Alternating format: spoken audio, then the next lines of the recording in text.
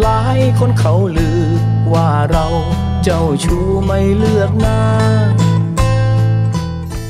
หลายคนถามว่า ผมเจ้าชู้หรือไม่ ตอนโสดนั้นคือ หลายคนจะมองว่าเจ้าชู้นะครับ แต่เอ๊ะ ไม่ใช่สิครับค้นหาคนที่ใช่มากกว่านะครับ แค่เราไม่คิดนะฮะชีวิตคู่ก็สมบูรณ์แล้วครับ แล้วก็ที่สำคัญนะครับในตอนนี้ อยากให้รักครอบครัวมากๆ รักคนที่ใช่มากๆ แล้วก็รักตัวเองให้มากที่สุดนะครับผมออกจากบ้านใส่แมสล้างมือด้วยเจล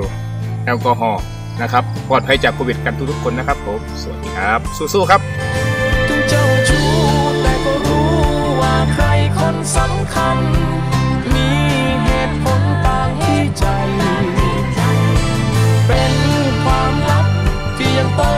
ไม่ได้